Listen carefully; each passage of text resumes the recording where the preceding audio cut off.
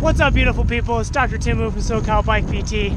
I'm out on my morning ride, and I wanted to bring up a little bit of, uh, bring your attention to a kind of drill or skill that I like to practice on the bike. I think it's very advantageous for uh, newer riders or anyone who wants uh, something to add while they're training. So on most roads, you got that white line, right? A great way that I practice kind of like smooth pedaling and being controlled in a straight line is trying to ride the line. So put in a gear, requires uh, like you're pushing it a little bit. And then our goal is to just smoothly follow the line.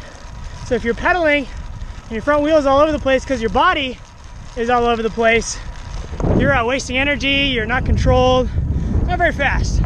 But whenever you're out riding, especially by myself, kind of boring, following the line with the wheel, well, when there's a line there, here it comes.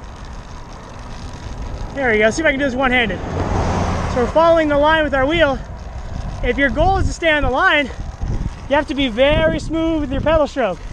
If you're like a really easy gear and you're chomping and spinning around like crazy, it's hard to do. It's hard to be smooth going a straight line.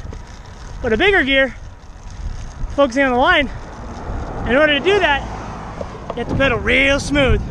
Pedal from the hips, stay seated, nice circular pedal stroke. Anyways, some food for thought when you're out training, especially by yourself, you need something else to do. Best of luck, let me know how it goes. Any follow-up questions, throw them in the comments below, and we'll address in the future. See you guys.